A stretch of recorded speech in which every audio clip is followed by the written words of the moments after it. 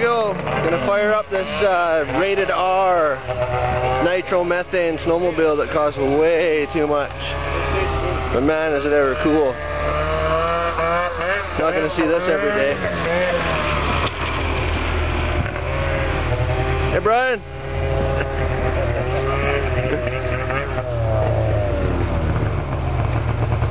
Yeah, you got the crew members here. Yeah, yeah, I'm happy.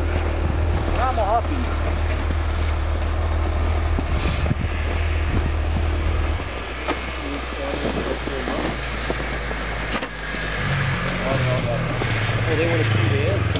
Here's the starter right here.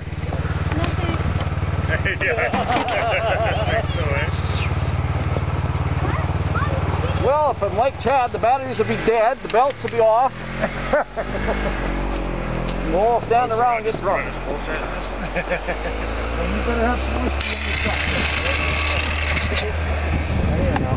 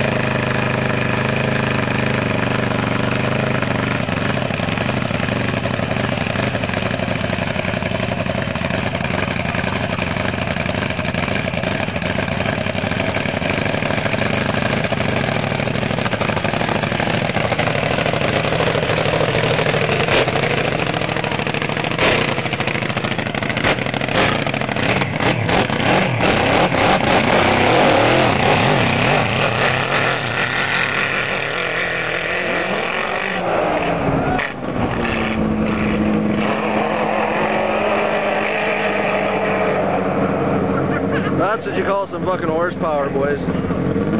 That's nuts.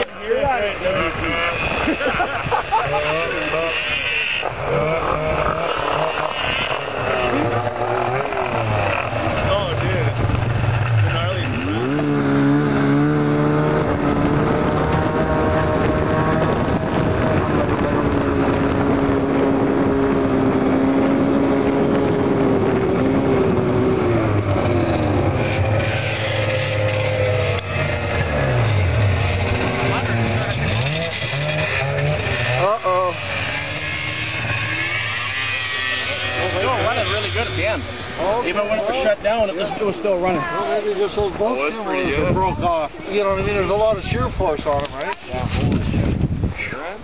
So what do you think, Gary? It lifted really hard once it got rolling, Yeah. and then you started turning the throttle on, it just started pulling, like it really pulls.